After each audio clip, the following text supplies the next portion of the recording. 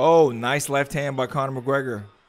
He's not doing the same damage though. Oh, oh! Dustin Poirier is beating up Conor McGregor against the fence.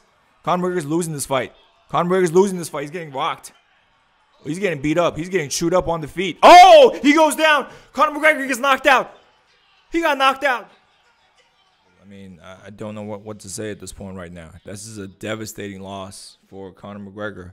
You know, at least with Nate Diaz, you can say he wasn't prepared. You know, it was 170 pounds. Um, but he lost convincingly. I mean, this was one sided. I mean, it wasn't even close.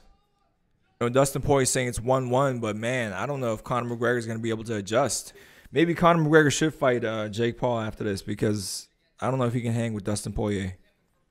I think Dustin and Chandler is going to fight. Oh, Conor's blaming inactivity, man. Conor's trying to blame ring ring rust. Don't do that, Conor. Don't make excuses.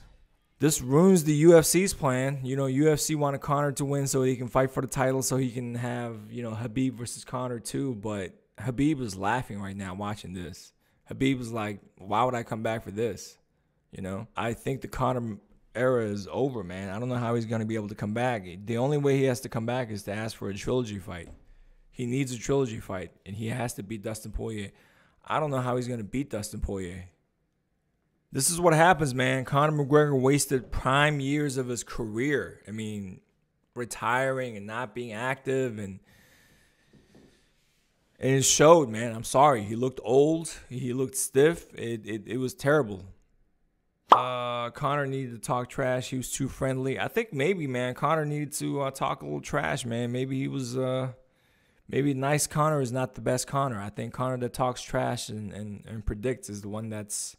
Uh, Ariana says McGregor had him ro- had him rocked in the first round. He did not have him rocked. Stop it.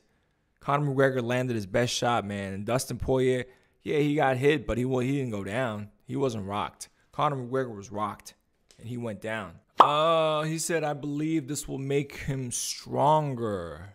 Bailey Rose and push him farther. Um, listen, at 32 years old, I don't know if that's gonna happen. Yeah, Dustin is Poirier. Dustin is 32, but Dustin is ascending.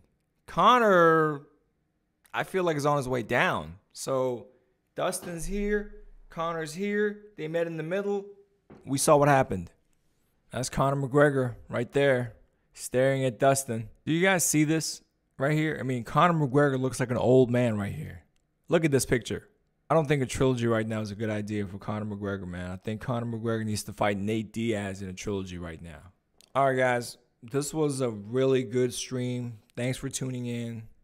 Thanks for subscribing. You know, we had over 2,000 people at one point, especially during the main event. So thanks for that. Um, Savage Gamer says, I'm Irish and I support Conor McGregor, but he's old and he has to retire at some point.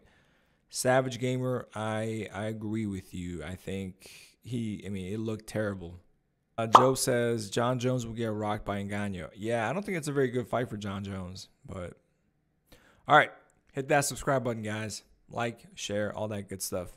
The stream is gonna end.